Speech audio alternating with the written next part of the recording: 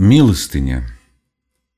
Вблизи большого города по широкой проезжей дороге шел старый больной человек. Он шатался на ходу. Его исхудалые ноги, путаясь, волочась и спотыкаясь, ступали тяжко и слабо, словно чужие. Одежда на нем висела лохмотьями, непокрытая голова падала на грудь. Он изнемогал.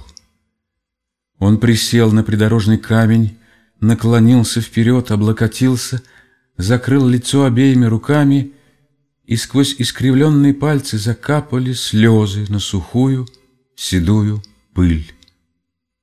Он вспоминал.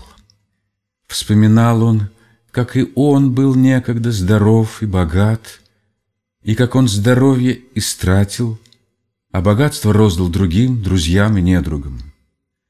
И вот теперь у него нет куска хлеба. И все его покинули, друзья еще раньше врагов.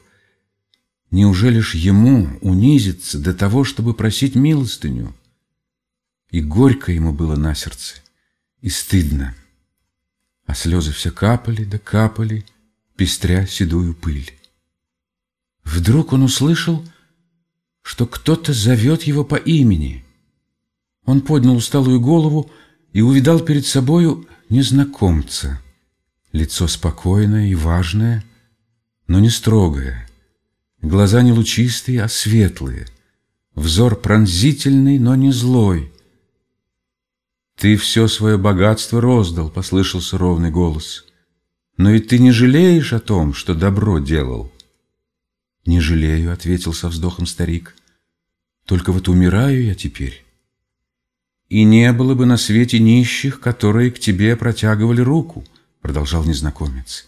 Не над кем было бы тебе показать свою добродетель. Не мог бы ты упражняться в ней? Старик ничего не ответил и задумался.